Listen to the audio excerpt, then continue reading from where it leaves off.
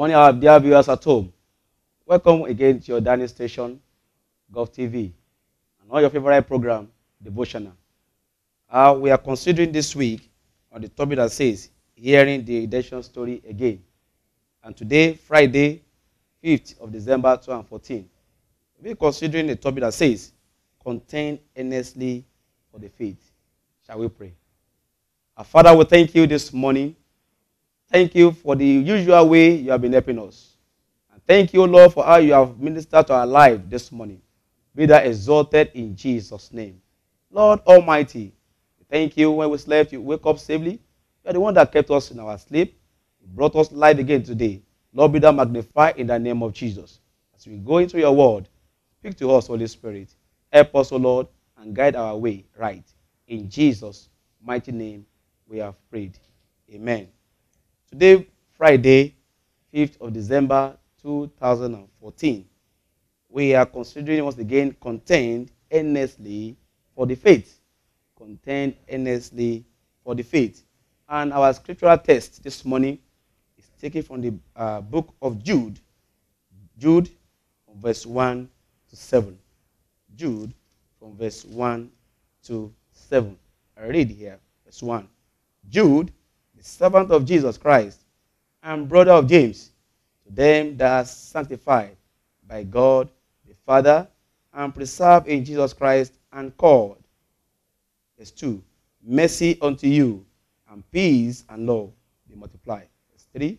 Beloved, when I gave all diligence to write into you of the common salvation, it was needful for me to write down to you and exhort you that ye should earnestly contend for the faith which was once delivered unto the saints.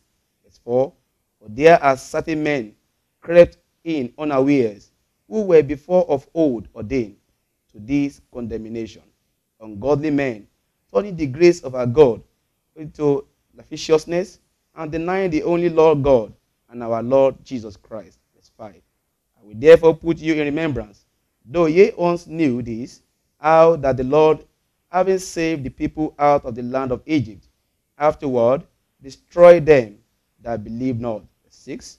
And the angels which kept not their first estate, but left their own habitation, he hath reserved in everlasting chains under darkness unto the judgment of the great day. Verse 7, the last verse.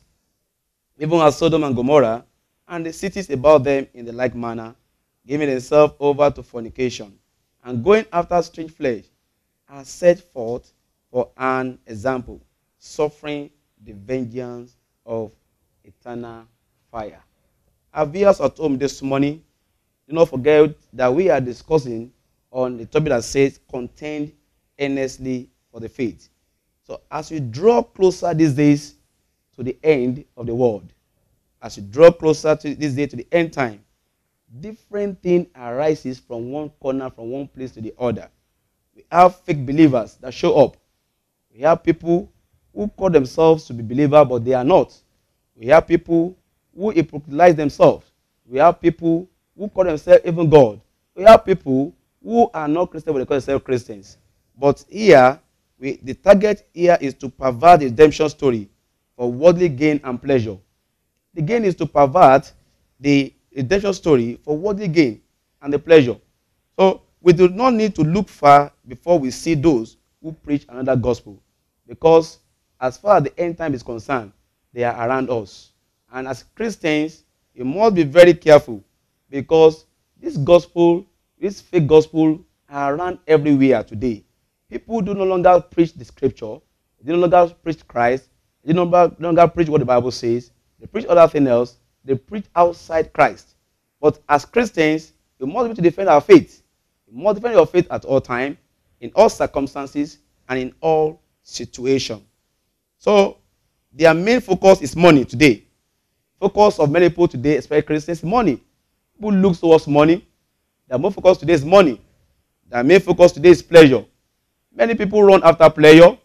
Many people run after money. Many people run after worldly success today. But that is not the focus. That's not the mindset of God. That's not the belief. That's not the Bible. That is not. That is not. But we need to be able to be very careful because all these things they move around us as Christians. And as we go on in our daily works, in our activities, in our place of work, surely all these things are there. They are, in, they are around us. So we must be able to defend our faith so we will not fall victim of all these negative or all these worthy things. God help us in Jesus' name. So churches are packed full of those who are full are focus of money today. Many churches today are full of people, not because of anything, because of money. They wanted money from there. They believe that the church is rich. I have to be there. Church is rich. I have to be there. But no. So today, the focus is that it's on heaven. The focus in the faith that we have in the Lord, uh, the Lord Jesus Christ. It's not on pleasure. It's not on worldly sources. So, yeah, society today also are full of rights. People today, in the one form or the other, society today are full of rights. And itching ears, uh, people are, are full of itching ears today. So, as Christians, as believers, we must be able to stand firm, to contend earnestly our faith, not to fall in the wrong side, and not to fall into wrong messages, and not to fall with the wrong uh, people. So, God gave the Bible example of the judgment He executes on those who reject the genuine redemption. God really cited some example. The examples is Sodom and Gomorrah. It is, they, they rejected God. They rejected God. And God really did what? He destroyed them. So God gave an example of those people who have rejected him from the beginning. And these people, they ended up being destroyed. I pray for you this morning that you will not be destroyed in Jesus' name. The pleasure of the world, the itchy things that are going on in the world, will not destroy you in the mighty name of Jesus. So those who thought Lot was joking were overthrown in Sodom and Gomorrah. It was not a joke. It really happened. So as Christians, we must learn from this fall of the first nations and first people who are really fell, people who disobey the Lord's commandment. The spiritual mature ones should be able to combat and be ready to fight and defend the gospel at all time. At all time. We must be able to defend our, our gospel of salvation through the faith and atonement of the death of the Lord Jesus Christ. We must be able at all times to defend our faith. We must be able to stand firm to know what we believe in that is in the Lord, in our Lord Jesus Christ. And uh, the sanctification of believers and damnation of those who refuse to believe Him. We must be able to know this that those who refuse to believe the Lord, they have their end part in damnation. Is my sincere prayer for you this morning, viewers, that you will not end up being dominated in the name of Jesus. Your journey in life, your focus in life, everything concerning you will not be destroyed in the mighty name of Jesus. Our point of emphasis is knowing the terror of the Lord will persuade men to repent. The Lord I will serve, though is merciful, at the same time is a God that indeed, when the time comes for him to bring the judgment, will surely bring his judgment. He's not a partial God. He's not ever a partial God. He that doeth right, let him do. And he that doeth wrong, let him do. The Lord has his reward accordingly for individual. And I pray for you as you are hearing, hearing the devotion this morning that the Lord Almighty will redeem you in the name of Jesus. Our point of prayer say, Father, send your Holy Spirit fire to pour your church of all unworthiness. I pray for you this morning that the Holy Spirit will send his fire and pour you and the church and even the world and even Nigeria in the name of Jesus. Shall we pray? Our Father, once again, we thank you. We appreciate you for what you have done. Be that exalted in Jesus' name. I pray, Lord, let your mercy speak for us. Purge also God as a nation. Purge us as individual. Purge us as church. Purge us, O Lord, and let our life be plain unto you. Grace to defend our faith.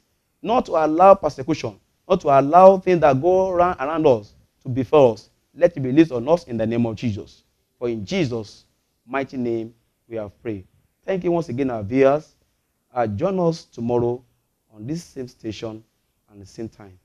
God bless you. Amen.